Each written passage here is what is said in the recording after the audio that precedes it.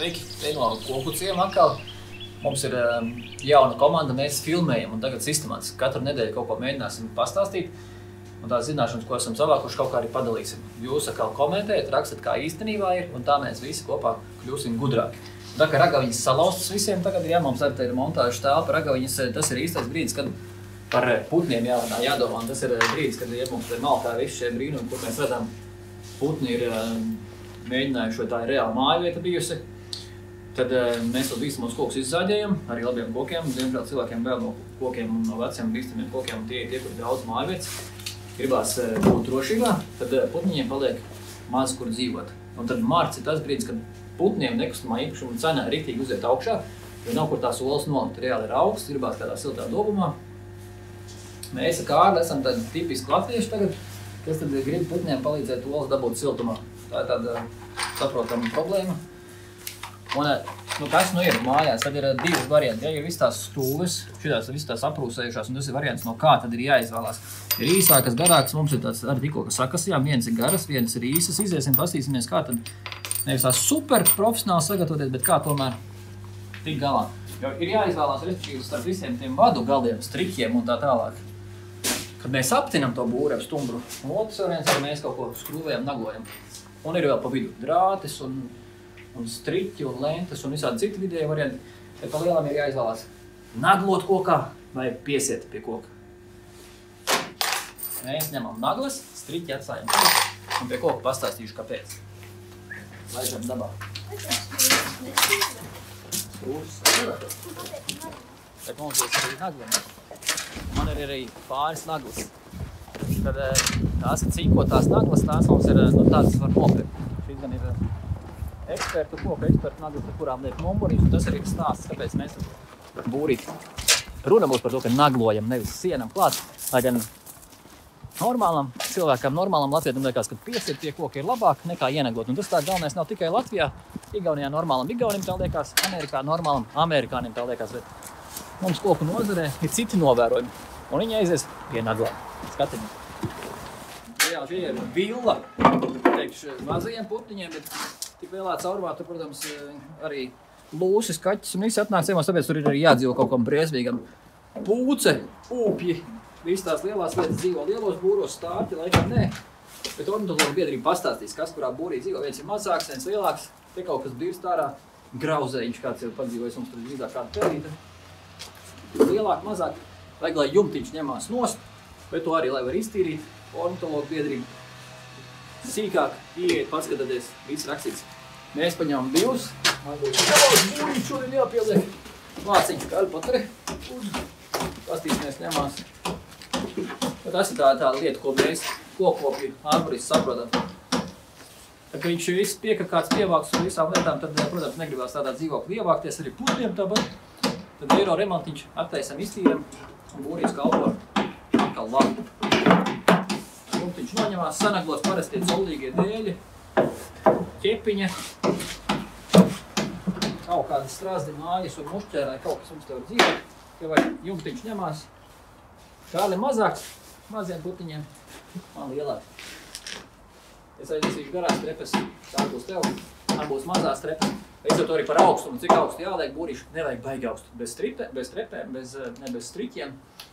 Cik var uzkāpt tādā trepītēm, Mums bija sasist būrīti bez trepēm, viņš augstāk vajag uzsist, lai galvu neatstam pret to būrīti. Vienmēr gribās pieneglot pie dzīva koku būrīti, bet man, man liekas nav starpība. Ja mēs varam atrast kādu pažobu, lai šeit pie vārtiem, piemēram, mēs manāk, pirms diviem gadiem pieneglējam, man blakus ir birojs, un es reāli redzu, ka te visu laiku dzīvo kāds. Var arī spriest pēc apkakātajām maliņām. Vajadzētu, protams, attaisīt, paskatīties, vai nav riktīgi piekakāts.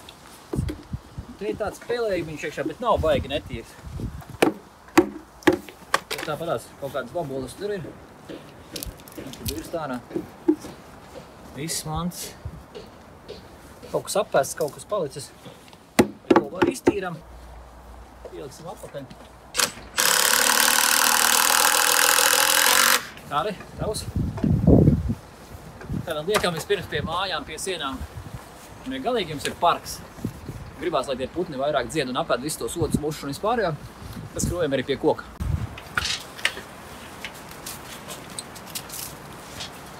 Šis būrīts būs ar naglām. Tas tas labākais, eh, noteikti arī vieglākais veids, kā pielikt būri. Vai viegli tāpat tās nav, kad naglu iedzīt. Mēģinās arī rekur eh, jaunietis, Kārlis. Nu, kurš nav baigais naglotājs, man liekas, tā būs varbūt tās kur reizi, kad tu naglo. Es vēl pieķeršu, ja?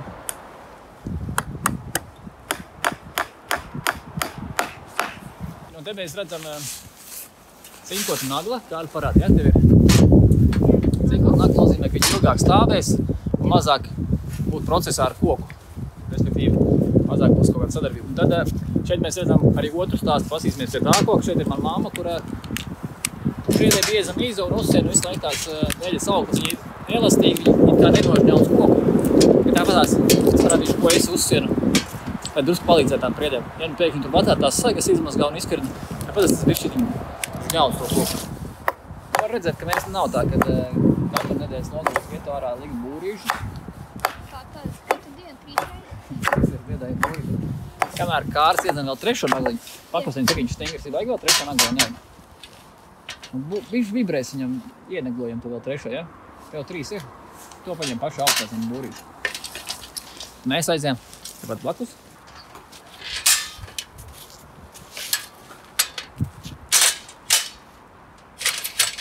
Viens ir uzreiz jau pienākot par aukliņu. Arī te jau pagājušajā gadā mamma bija uzsējusi aukliņu, kas man dārzniekam ejot garām par rokai trāpās. Piemēram, šeit bija kaut kur es biju atsējis kādu koku.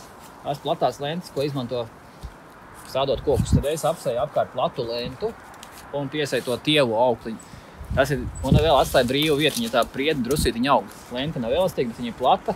Tad vienalga, cik platā tās sagas sakarina vai iekarās kāda vāvera vai kāds bērns, tad auklā netiek bojāt kokam miza. Un jo kokam plānāk miza, jo vieglāk sabojāt.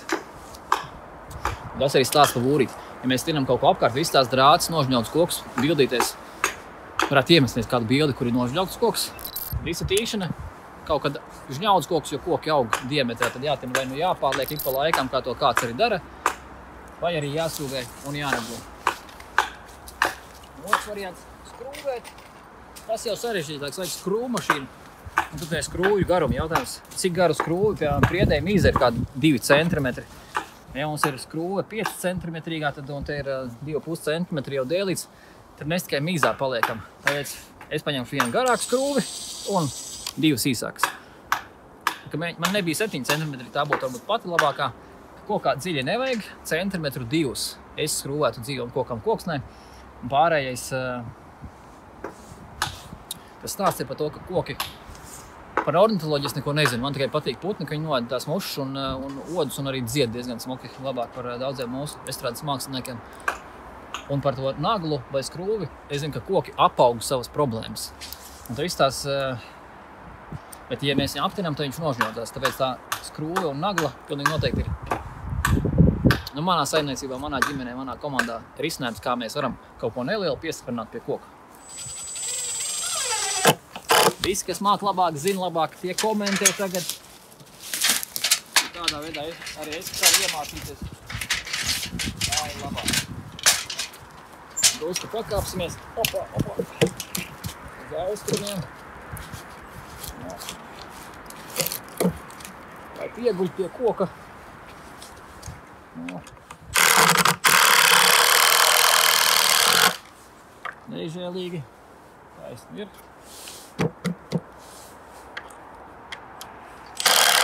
Valsts neripo vienā stūrī, kā Nekā tas ir tikai mīzā.